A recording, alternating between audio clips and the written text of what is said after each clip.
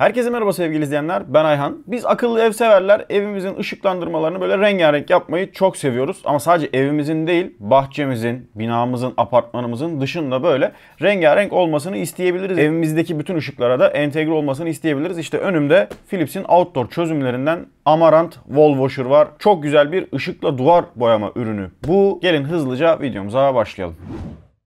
Evet şimdi kutuyu açmadan önce şunu söylemek istiyorum size. Kasım ayındayız. Kasım ayı bildiğiniz gibi indirim ayı. Philips'in Hue ürünlerinde de gerçekten öyle güzel indirimler oldu ki bugüne kadar. Tam bugün itibariyle de Amazon'da çok güzel indirimler başladı. Ben videonun yayınlandığı tarihteki duruma göre uygun bulduğum indirimleri videonun altına koyacağım. Eğer Philips Hue alacaksanız bu ay gerçekten çok doğru bir ay. Sadece bu üründe değil bütün Philips Hue ürünlerinde genel olarak bir indirim var ve bundan sonra da Philips'ten aldığım duyuma göre fiyatlar biraz daha yükselecekmiş. O yüzden son çağrı gibi düşünebilirsiniz bunu. Eğer alacağınız Philips Hue ürünleri varsa videonun açıklama kısmına linklerini bırakıyorum. Kasım ayı içerisinde mutlaka alın.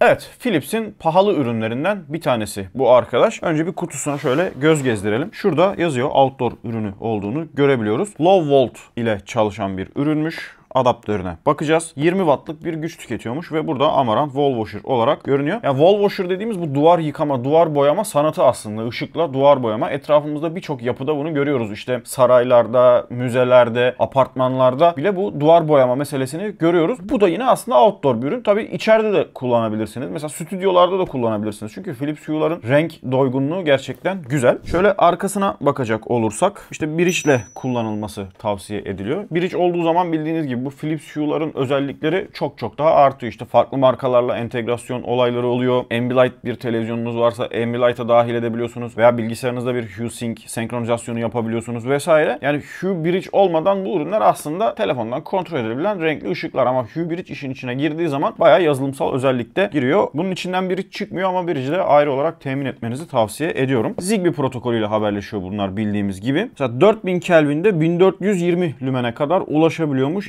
2700 Kelvin'de de 1200 lümen veriyor. Ya yani bu normal evimizde kullandığımız Hue ürünlerinin çok çok üstünde aslında lümen değerleri. O yüzden outdoor zaten işte böyle duvarları boyasın diye. Zaten yerleşimi de biraz ona uygun. Ve şurada zaten IP65 sertifikasının olduğunu da görüyoruz. %100 su geçirmez değil. Yani suya toza dayanıklı ama outdoor ürün. Yani öyle full suyun içerisinde bırakabileceğimiz ürünler değil ama yağmura falan dayanıklı ürünler bunlar. Şöyle burada bir kutu içeriği var. İşte kablosu vesaire herhalde çıkacak. Şöyle adaptörüne baktığımız zaman da birden fazla outdoor ürünü birbirine ekleme yöntemiyle takabildiğimizi görebiliyoruz. Zaten öyle olmalı mantıken. Yani sadece bunu çalıştıracak bir adaptör olmamalı. Çünkü sadece bundan bir tane alıp duvarımızı boyamayacağız. Belki bahçemizde iki tane, üç tane, beş tane yan yana kullanacağız veya apartmanımızın dış cephesini boyuyorsak. Dolayısıyla bunların böyle birbirinin devamı olarak konumlandırılabilecek şekilde olması önemli bir özellik. O zaman şöyle size doğru çevireyim ve kutuyu açalım. Dınırım. O kablo bayağı kalın. Ben aslında bunun stickerlarını açmıştım ama kutuyu açmaya cesaret edememiştim. Çünkü şu ürünlerinde şöyle bir şey var. Mesela şuralardan böyle yani zorlayıp kutuyu tam açtığımız zaman bir daha kapatması zor oluyor. Önce bir açmaya niyetlendim sonra dedim videoda açarım. Kalmıştı öyle. Şurada kitapçıkların olduğu bölüm var. Burada sadece kitapçıklar var. Ekstra bir şey yok. Bir aksesuar vesaire. Şurada da Ah adaptör yok mu?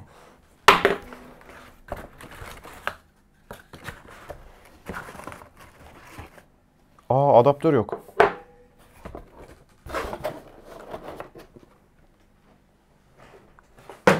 Çok ilginç. Ürünü de bir çıkaralım. Şu an bir üzüldüm. Evet ürünümüz burada. Dadadadam diyeceğim de adaptöre takıldım şu an.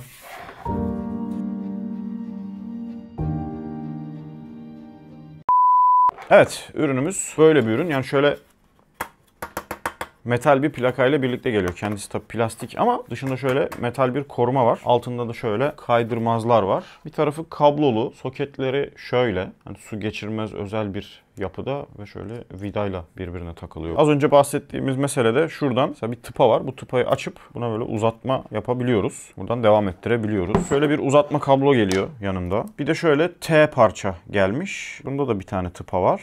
Bu parçada da şöyle iki tane dişi soket var. Bir tane de erkek soket var. Çoklama amacıyla veya T yapma işte yön değiştirme amacıyla kullanılabilecek bir şey. Ama adaptörü çıkmıyor bu ürünün içinden gördüğünüz gibi. Buna biraz üzüldüm açıkçası. Çünkü yani şu soketler normal mesela adaptörle kullanabileceğimiz soketlerde değil. Bu ürün 24 volt. 24 voltluk bir herhangi bir adaptör taksak çalıştıramayacağız zaten bunu muhtemelen. O yüzden buna açıkçası birazcık üzüldüm.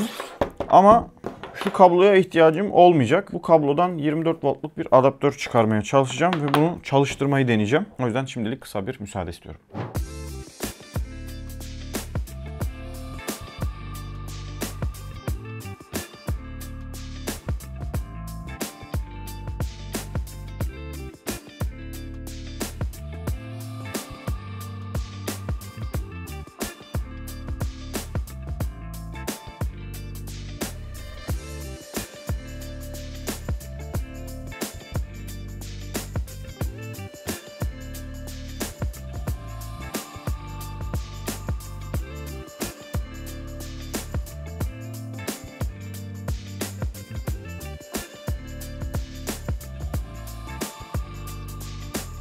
Kabloyu kestim. Bağladım da şurada böyle ufacık artı ve eksi yazıyor. Bunu biraz kendimize kılavuz aldık ve buna güvenerek kabloları bağladık. Ters çıktı, yanmadı. Sonra ters çevirince düzeldi. Aslında zaten şu kablonun içerisindeki mavi ve kahverengi kablolardan anlamak lazımdı. Mavi genelde nötr, kahverengi de genelde faz olur. Burada da aynı mantık olmuş. Ama bunun üzerinde artı eksi niye ters ondan emin değilim. Tabii ben 24 voltluk bir adaptör buna bağladım ama bunu tavsiye etmiyorum. Yani kablonuza zarar vermeyin. Ben bir şekilde videoda size gösterebilmek için bunu yaptım yaptım. Ve o kabloyu kestiğimiz andan itibaren artık bunun outdoor özelliği kalmıyor. Yani o kablo su alabilir bir hale dönüştü. Dolayısıyla o artık outdoor kullanılamayacak. Bunu da aslında zaten outdoor kullanmayacağız. Yine stüdyomuzda kullanacağız. Şu arkamda görmüş olduğunuz ışıklar Philips Hue Play'ler. O Play'lerin muhtemelen şu üstteki ışık yerine bunu konumlandırabiliriz. Bilmiyorum. Belki evde de kullanabilirim. Emin değilim. Ama ben Hue'ları kullanmayı seviyorum. Bu Kasım indirimlerinde de bayağı para harcadım Hue'lara. Neyse uzatmayalım. Artık bunları birleştiriyorum ve ışığımız yandı. Şöyle sıktığımız zaman bunlar tam olarak birbirine oturmuş oluyor. Kablo bir kere çok kalın ve çok güçlü. Yani bu ışık için biraz fazla aslında ama şunu hesap etmişler muhtemelen. Atıyorum yan yana bundan bir sürü taktım. Çünkü Philips'in normalde işte bunun birden fazla cihaz destekleyen adaptörü de varmış. Onu da gördüm. O yüzden de bu kabloyu güçlü yapmışlar. Ne kadar kalın olursa bildiğiniz gibi o kadar yüksek akım iletiyor. 24 volt ama yüksek akımlar çekiyor. Bu arkadaş 20 wattlık bir arkadaş. Yani 24 voltluk adaptörde aslında 1 amper bile çekmiyor. Gördüğünüz gibi aslında bayağı güçlü. Yani ben görüyorum siz görebiliyor musunuz bilmiyorum ama bunu gösterebilmek adına şu stüdyo ışıklarını kapatıp bunu böyle biraz kendime doğru çevireyim. Umarım gözümü almaz.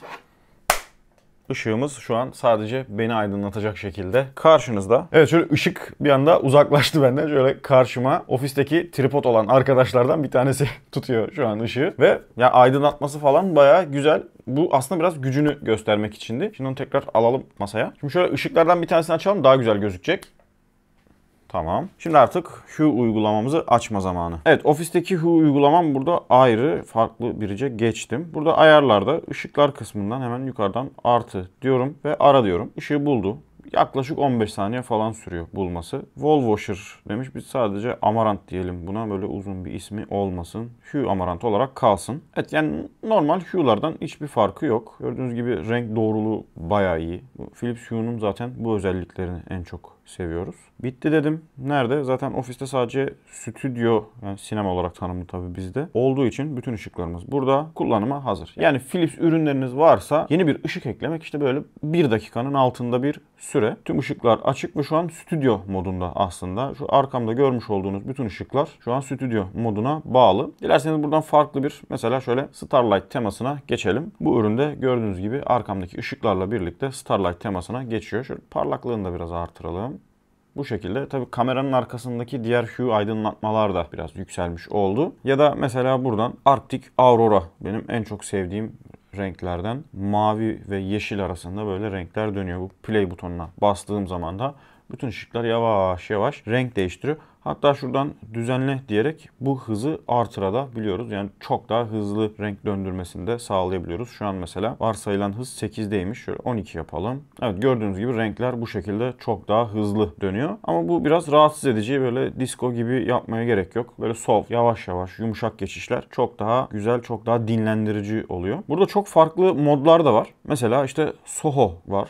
Baya böyle renkli. İşte mesela Cadılar Bayramı için bir hazır şablon var. Onun dışında mesela burada Hue Görünüm Galerisi adı altında bir sürü size farklı renkte senaryolar sunabiliyor. İşte böyle çiçekler vesaireler. Hatta bir de buna böyle Spotify senkronizasyonu eklerseniz Spotify'da müzik dinlerken bu ışıklar böyle Spotify'a eşlik ediyor ve böyle yavaş yavaş Spotify'daki müziklerle birlikte dönüyor. Özellikle dinlendirme konusunda hani böyle hareketli müzikleri bilmiyorum benim çok tarzım değil ama dinlendirme konusunda böyle daha fokuslu çalışma konusunda beni gerçekten çok motive ediyor bunlar. Hue uygulamasına zaten hepimiz hakimiz. Tabi bunları yapabilmek için Amarant'a ihtiyacımız yok. Ben sadece biraz göstermek için aslında bunları da yaptım. Bu Amarant'ı da deneyimlemek istedim. Yani biz projelerimizde bunu kullanıyoruz. İşte farklı akıllı ev danışmanlığı verdiğimiz projelerde Hue ürünlerini kullanıyoruz. Amarant'ı daha önce hiç deneyimlememiştim. O yüzden bunu da bir deneyimlemek istedim. Bu deneyimi de sizlerle paylaşmak istedim. Yani güzel bir ürün. Fiyatına göre verilir mi verilmez mi onun kararı size kalmış. Ben videonun açıklama kısmına hem bunun hem de diğer bulduğum indirimli Hue ürünlerinin linklerini koyuyor olacağım zaten. Siz de oradan bir bakarsınız. Ama Hue ürünleriyle ilgili şu yorumu yapmaktan kesinlikle çekinmiyorum. Akıllı ampul konusunda Philips Hue'lar gerçekten zirveyi oynuyorlar. Gerçekten çok kullanışlı ürünler. Özellikle bu işte sync işlemleriyle birlikte yani müziğinize eşlik etme, televizyondaki görüntünüze eşlik etme veya oyuncu bilgisayarınıza eşlik etme özellikleriyle birlikte muazzam deneyimler sunuyor. Ben kullanmaktan çok memnunum. Yani her zaman bu